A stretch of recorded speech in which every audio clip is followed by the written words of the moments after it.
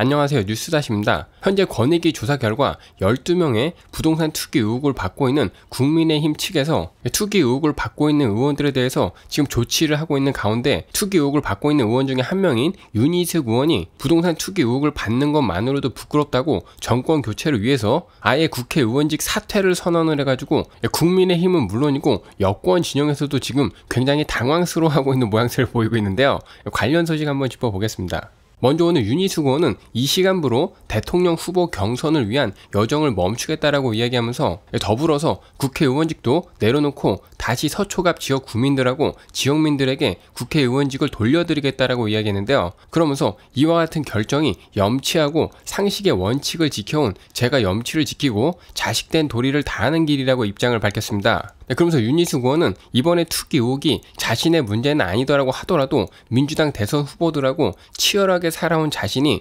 국민에게 책임 있는 모습을 보이는 것이 정권 교체를 열망하는 국민들하고 당원들에게 보답하는 길이기 때문에 이와 같은 결정을 했다라고 밝혔는데요. 현재 윤희숙 의원 같은 경우에는 이번에 권익위 조사에 의해서 투기 의혹을 받고 있는 것은 사실이지만은 이거는 본인의 투기 의혹이 아니라 윤희숙 의원의 아버지가 2016년에 세종시에서 농지를 샀으나 실제로 경작을 하지 않은 의혹을 받았고 국민의힘 지도부 측에서는 윤희숙 의원의 투기 의혹에 대해서 전부 다 살펴보았지만은 윤희숙 의원의 소명을 듣고 자료를 살펴본 결과 윤희숙 의원이 땅을 사는데 관여하지 않았고 투기 목적이 아니었던 것으로 판단을 해가지고 징계 처분조차 내리지 않겠다라고 결정을 했지만은 윤희숙 의원은 투기 의혹에 휘말린 것만으로도 부끄럽다라고 이번에 이와 같은 결정을 한 것입니다. 현재 윤희숙 의원이 국회의원직을 사퇴하겠다라는 결정에 대해서 국민의힘 측에서는 당연히 당황스럽다라는 반응이 나오고 있는 상황인데 현재 국민의힘은 의석수로 보았을 때 지금 민주당에 비해서 상당히 열세이기 때문에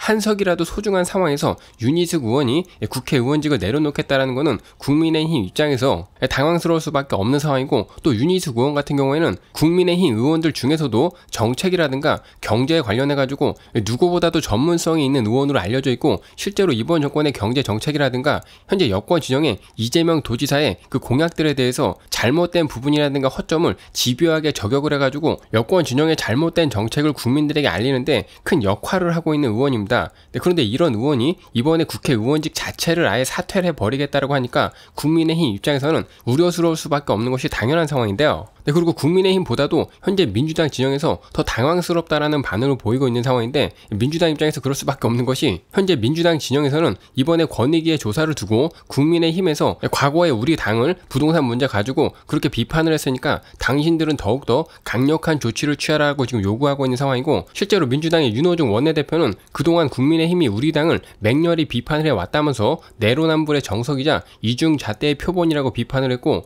윤호중 원내대표는 저희 당은 국민과의 약속을 지키기 위해서 사상 초유의 탈당 권유 조치를 했었다면서 국민의힘은 의혹이 제기된 의원들에 대해서 응분의 조치를 취함으로써 국민들에게 약속한 것을 이행하라라고 촉구했는데요. 하지만 그럼에도 불구하고 국민들은 민주당이 이런 요구를 하는 것에 대해서 당신들이나 제대로 하라라고 지금 내로남불이다 오히려 비판을 하고 있는 상황입니다. 그럴 수밖에 없는 것이 민주당은 앞선 권익위 조사로 부동산 투기 의혹이 제기된 의원 12명에게 전원 자진 탈당 조치를 해가지고 사실상 용두삼이라는 이런 비판이 나오고 있고 거기에다가 12명 중에서 10명은 아직까지도 당적을 유지하고 있는 상황인데요. 그리고 민주당 은 10명 중에서 5명은 탈당계를 제출을 했지만은 민주당은 탈당을 거부한 나머지 5명하고 형평성을 이유로 이들의 탈당 처리를 안 하고 있는 상황입니다. 네, 그리고 이뿐만이 아니라 부동산 투기 의혹이 제기된 민주당 의원 12명 중에서 2명은 제명 조치를 하긴 했는데 이 제명을 당한 2명은 비례대표 의원으로서 윤미향하고 양이 원형이고 민주당에서 이들을 제명을 한 이유는 탈당을 시킬 경우에는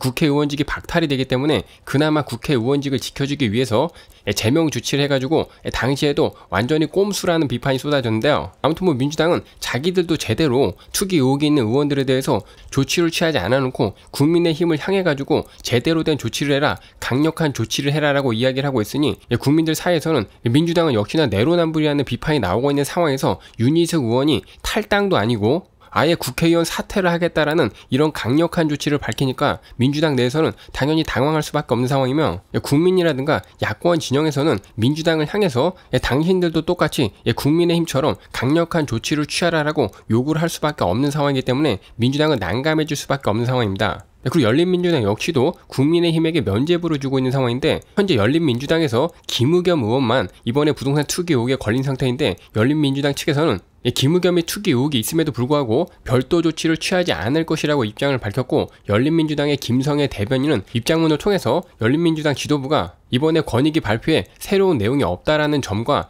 김우겸 의원의 해명이 사실에 부합하는 바가 있기 때문에 김우겸에게 별도의 조치를 취하지 않겠다라고 이야기했고 오히려 권익위를 비판을 했는데 열린민주당은 권익위를 향해서 추가 정황 혹은 근거도 없이 김우겸의 부동산 의혹을 제기한 것에 대해서 김우겸의 부동산 의혹을 제기한 것은 부당하다라고 비판을 했으며 권익의 내용을 확인해 보니까 새로운 내용도 없었고 기존의 주장을 옮겨 적었다라고 비판을 했으며 기존의 문제 제기가 있었으니까 조사를 해야 한다라는 식의 형식적이고 무책임한 조사 결과라면서 권익의 태도가 잘못됐다라고 비판했습니다. 네, 그러면서 열린민주당은 2020년도 후보 선정 과정에서 이와 관련해가지고 김우겸 의원의 해명을 검증해서 문제가 없다라고 이미 판단을 해가지고 후보를 선정을 한 상태라면서 유권자하고 당원들도 그 결과를 알고 있고 김우겸 의원을 선택을 한 것이라고 강조했는데요. 네, 그런데 이건 좀 앞뒤가 안 맞는 말이라고 생각이 드는 게 김의겸 의원이 비례대표로 당선이 된 것이 아니고 김진애 의원이 이 배지를 내려놔가지고 주워 먹은 것인데 마치 뭐 김의겸이 당선이 된 것처럼 이야기하는 거는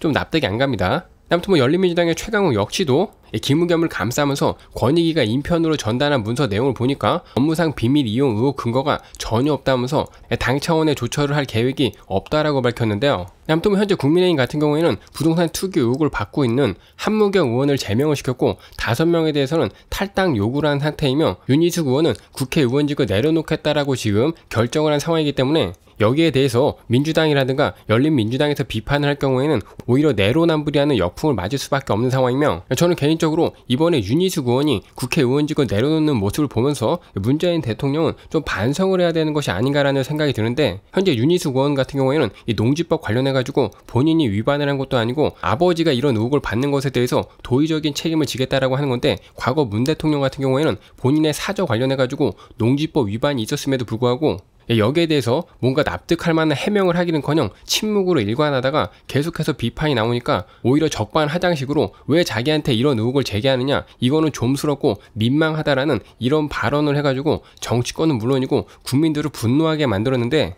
국회의원보다도 몇 배, 몇십 배는 더 책임이 있는 자리에 앉아 있는 대통령이 자신의 의혹에 대해서 이런 식으로 대응을 한 것에 대해서 윤희숙 의원의 사퇴 결정을 보면서 좀 반성을 해야 되는 것이 아닌가라는 생각이 들고 또 윤희숙 의원의 사퇴 문제 같은 경우에는 민주당에게 지금 큰 고민거리가 돼버린 상황인데 윤희숙을 사퇴를 시키려면은 국회 본회의에서 민주당의 동의가 있어야 됩니다. 근데 지금 민주당의 상황을 보았을 때 윤희숙을 사퇴시키는데 민주당이 손을 들어준다면은 본인들 진영에 투기 의혹이 있는 의원들에 대해서 윤희숙만큼 강력한 잣대를 들이대지 않으면은 내로남불이라는 비판을 받을 수밖에 없는 상황이고 또 해당 의원들을 향해서 강력한 잣대를 들이대면은 내부 반발이 나올 수밖에 없는 상황이기 때문에 섣불리 윤희숙 사태에 손을 들어주기가 굉장히 곤란한 상황이며 또 만일에 윤희숙을 사퇴시키지 않겠다라고 손을 들어주지 않을 경우에는 국민들에게 이 국회의원 놈들이 다 같이 지금 붙어먹고 있구나라는 이런 비판을 받을 수밖에 없는 상황이며 부동산 투기 후 관련해가지고 여태까지 국민의힘에게 강한 조치를 취하라라고 공세를 펼쳤던 것은 전부 다 뻘쭘해질 수밖에 없는 상황인데요.